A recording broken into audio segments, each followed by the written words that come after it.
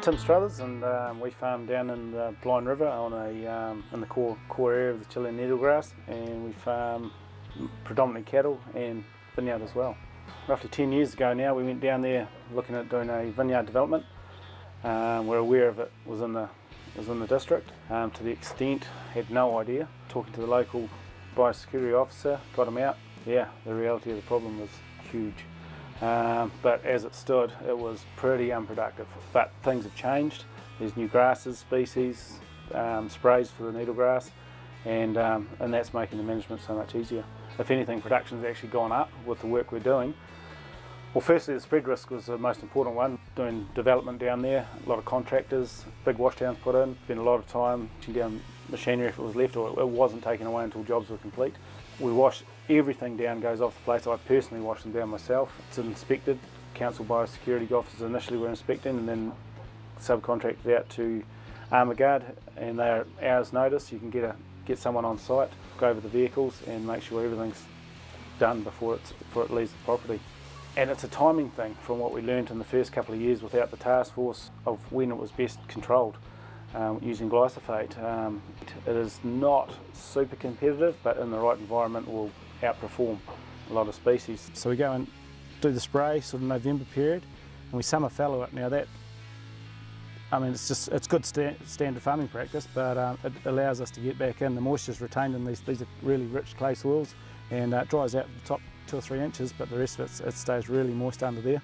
And then we can hook back into it sort of end of January, early February with a cropping program for winter. So uh, I've been going into, you can either go to rapes, barleys, um, really well after the Taskforce and get some really good results out of them.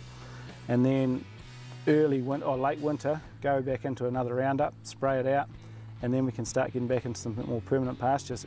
Really showing up and working well is the lucerne, um, cocksfoot, um, plantain. We've got white clovers that are coming away really well still um, subclovers, which are naturally in the soil, so we haven't put too much of them in the mix, uh, and they've really bounced back after Taskforce.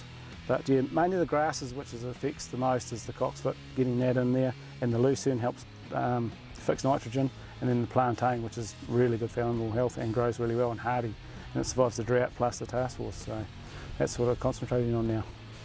And once that permanent's established, it's yeah, it's um, the pastures is chalk and cheese. I mean, it's, we're running dairy cattle here at the moment.